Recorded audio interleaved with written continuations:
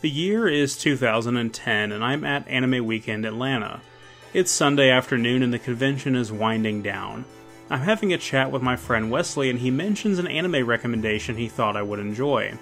He says, If you want to see a great classic style over the top shonen series, you need to check out Sengoku Basara.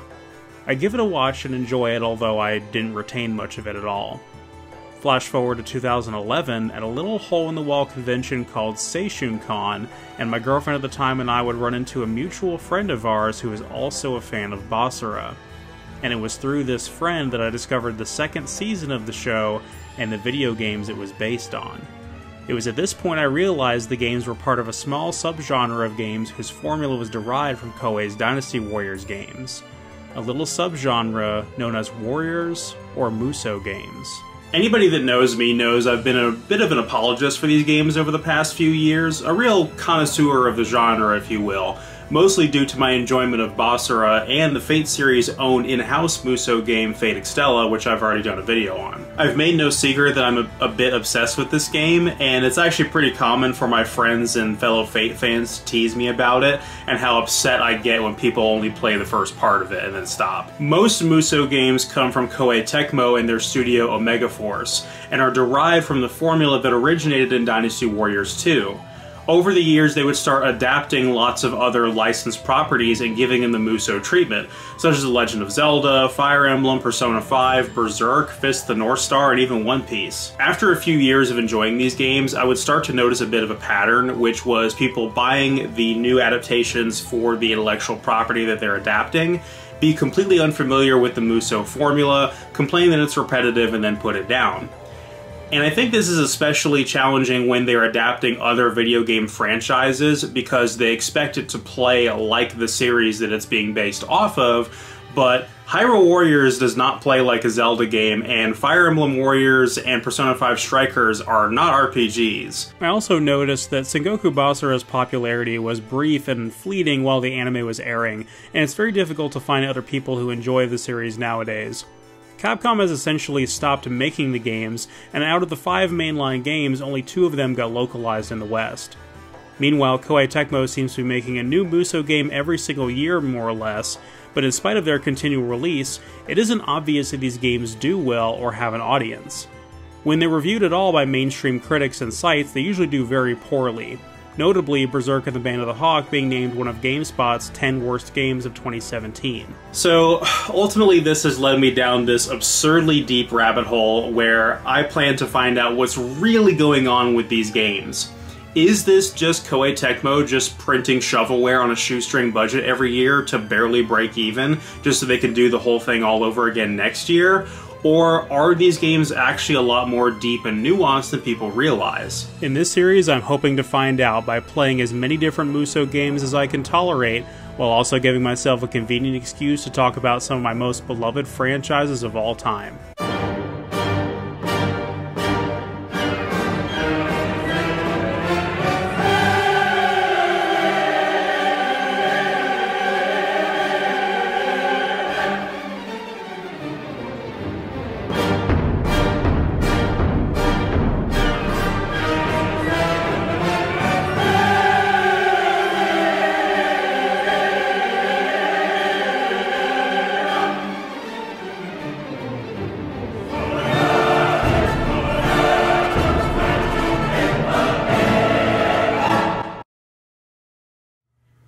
From the research I've done, and trust me, I have done a lot of research, I can conclude that from what we know, these games are much more popular in Japan than they are in the West.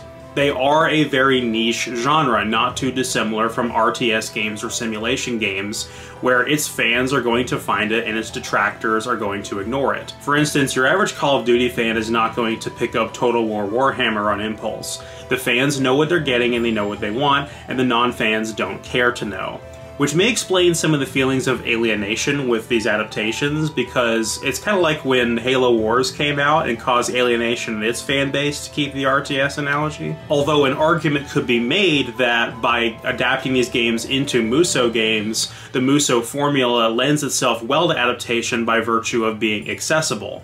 The problem is that Western fans often conflate accessible with simple. But before we get lost in the woods talking about gameplay, we really need to wrap up this point about how the games are received. And in order to do that, we need to talk about sales figures. One thing we have to understand is the Japanese games market is very different from the market here in the West. The AAA market here in the West is so bogged down by extremely high development budgets and marketing costs, it makes it difficult to bet on the middle market. Certain games are seen as a financial failure if they don't sell several millions. Notably, Square was convinced that if Deus Ex Mankind Divided didn't sell more than 6 million copies, it would be considered a failure, which is why there hasn't been a follow up to that game. But in Japan, there are a lot more studios that operate in what we would consider the middle market over here games selling in the hundreds of thousands or even high tens of thousands can still be considered a financial success depending on the franchise and when you consider the size of the market compared to over here. Another thing worth clarifying is that a lot of news sites, journals, and articles can sometimes use a lot of industry jargon when describing sales that makes the data difficult to parse.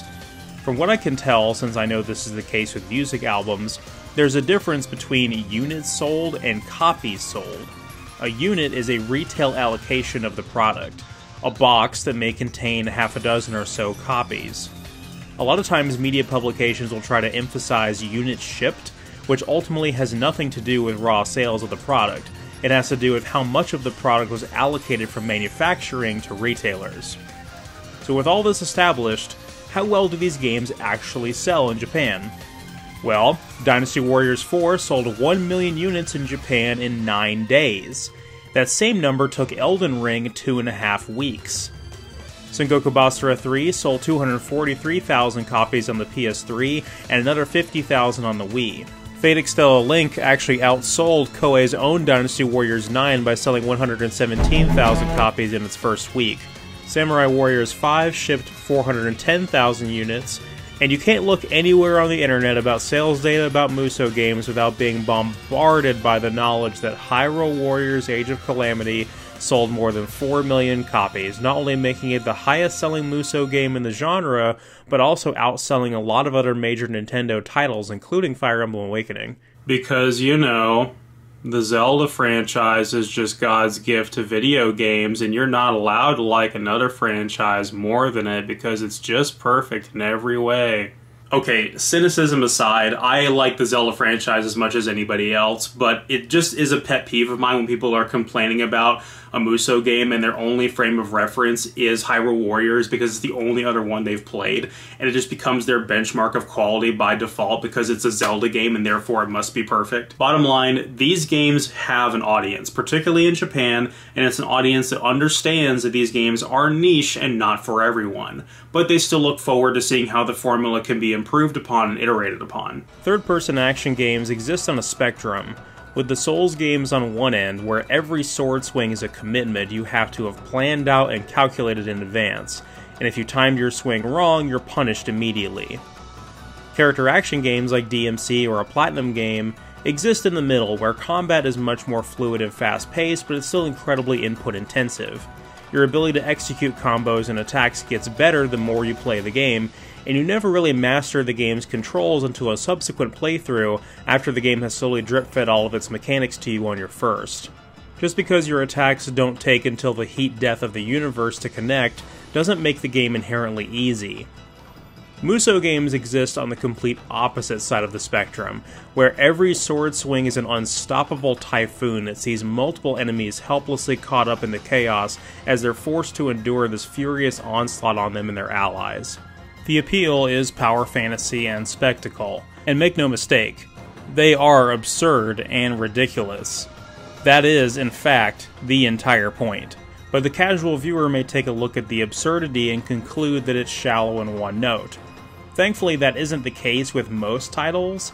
The depth often lies in map design, enemy variety, and difficulty modes as well. The traditional Musou formula goes something like this you pick a faction and drop into a large map to command your army to victory. You control a general and must hack and slash your way through hundreds of small mob enemies to reach key positions or checkpoints on the map. Each location captured will increase your foothold on the map and your army's morale. Victory is declared when you've defeated the enemy's general. The maps are either a sandbox, like this, or like most modern Musou games, have specific objectives you must complete by going to specific locations on the map when the game tells you to. These usually include rescuing an ally, defending an outpost, or defeating a key figure on the enemy faction. The standard soldiers are not meant to represent a threat to you, they're purely there for spectacle as you juggle dozens of them with your powerful attacks. They can cheap shot you in the back if you're exposed, but they're generally low on aggression and don't attack you very much. First time Musou players may be redundantly trying to eliminate every enemy in their line of sight fruitlessly, even though dozens more will continue to spawn in. You're meant to break through their lines to get to the next objective and deal with the tougher enemies along the way. Usually there are larger armored enemies that guard important areas, as well as archers, cavaliers, ballistas, and some games get really weird and experimental with their enemy variety.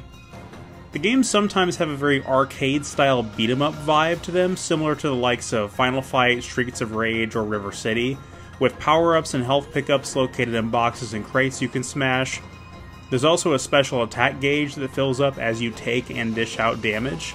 I explained this in my Fate Extella video, but one of the ways Musou games can handle combat, which I feel like is preferable, is by having a long series of combos you can use with your light attack button, and that if you interrupt your combo with a heavy attack, you'll get a unique and different contextual move based on how many times you had used light attack before using heavy. Basically, square square triangle is a different move than just square triangle. This is similar to how most character action games implement it, and it's usually simple to pick up but incredibly satisfying to master. The modern system that a lot of Musou games have opted for is for holding down one of the shoulder buttons to bring up a menu where you can select a combo move by using one of the face buttons. I personally think this is a much worse system that really takes all of the reward out of mastering and executing the combos, it's similar to how every shooter moved towards a two weapon system rather than letting you carry your full arsenal of weapons. It's one of the reasons I hold games like Basara 3 and Fate Extella in such high regard, although there are some Musou games that use this system well. As we go throughout this series, you're going to see this formula iterate and evolve, but to get an idea of the template that all future Musou games would follow, we need to take a look at its origins in Dynasty Warriors 2. For decades now, one of Koei's flagship series is Romance of the Three Kingdoms, a series of strategy games based off the real world 3rd century Han Dynasty conflict in China, a series of stories that exist in public domain in regards to writing fiction around it. I am going to botch so many pronunciations in this series. Commenters, just get your keyboards ready. Like, here you go. I have them right here for you. Just take them. In 1996, Koei would create Omega Force as their own in house studio for making action games. Similar to how Nintendo has retro studios or intelligent systems for specific genres. The first Sangoku Musou game was actually a one on one fighting game similar to Virtua Fighter or Samurai Shodown, its sequel was released in the West as a launch title for the PS2, and with it brought the introduction of the Musou formula. When I first played this game, I was shocked to see how many features still prevalent in Musou games to this day were already implemented here in the first entry, such as when your health is critically low, your Musou gauge fills automatically, meaning you have means to push back when you're backed into a corner at dangerously low health. There's an impressive amount of playable characters to choose from, each with their own unique fighting style, and combat is fluid and responsive overall. However, other aspects of this game have not aged well. I played about as much of this game as I could tolerate, and I lost about two thirds of the footage I recorded. I really didn't want to record more as well because this is one of those blue CD based PS2 games, and they're notorious for running horribly, and I didn't want it to break something in my PS2.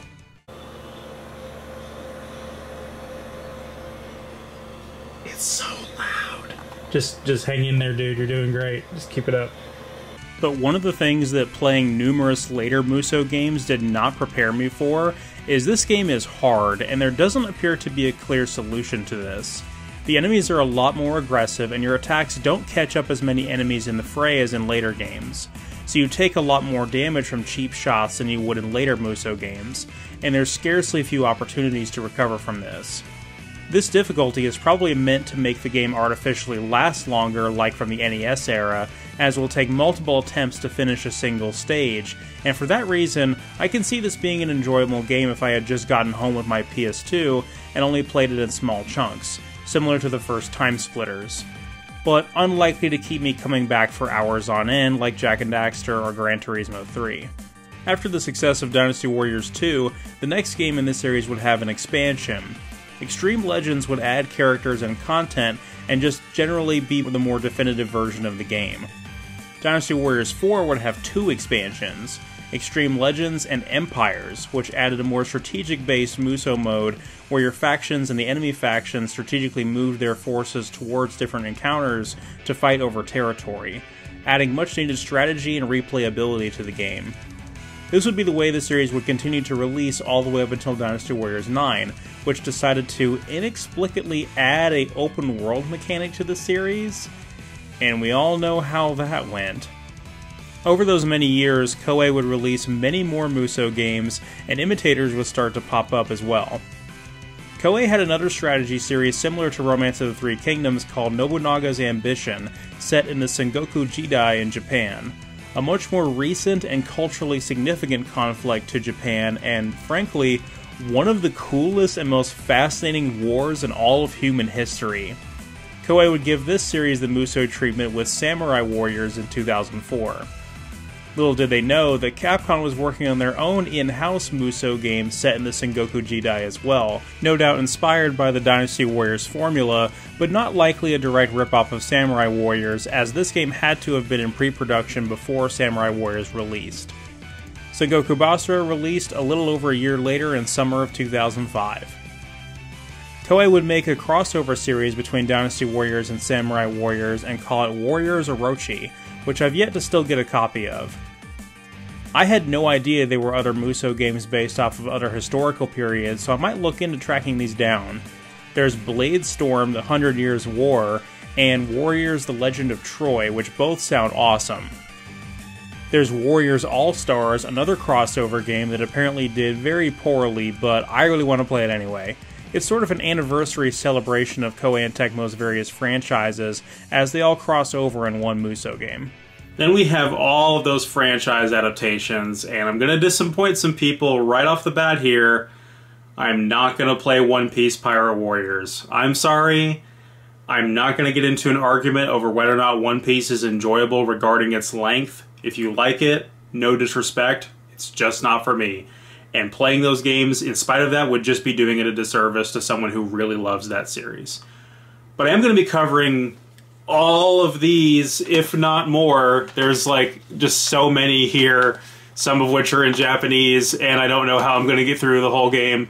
But just trust me on this this is going to be a great series, and I'm really excited about it. But for the next video, we are going to be taking a look at a game that is personally very sentimental to me. It is my introduction to the Musou genre, and it's a remake of an old video that I made a long time ago that is delisted and no one will ever be able to see it but I'm remaking it from scratch for this series. So for the next video, we're going to be talking about Sengoku Basara and its controversial English localization. Till next time.